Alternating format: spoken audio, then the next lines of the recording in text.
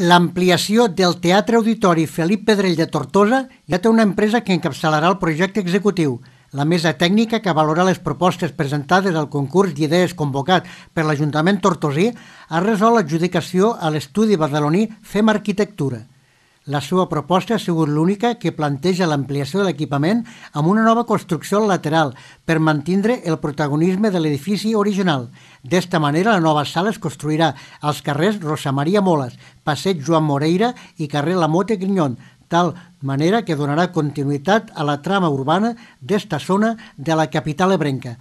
Pel que fa a la nova sala, dura el nom del dramaturg Ricard Salvat, tindrà una capacitat per a unes 300 persones, de manera que complementarà les dues sales actuals, la gran i la menuda.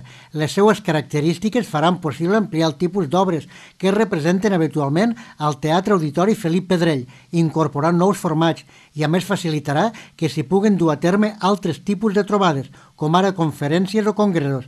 A més, permetrà acollir, entre d'altres, els actes previstos en el marc de la capital de la cultura catalana, que Tortosa ostentarà el 2021. La redacció del projecte executiu s'ha adjudicat per 51.748,78 euros i ha d'estar enllestida al principi de l'estiu. En este moment s'iniciarà la licitació de les obres.